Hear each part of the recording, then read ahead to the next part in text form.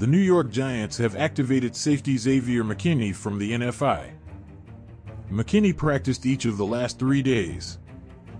It was reported earlier that it was unlikely that he would play this week versus the Indianapolis Colts. But now that he is officially activated, there is a much higher chance he plays. McKinney has been out since the bye week after he injured his hand in an off field incident.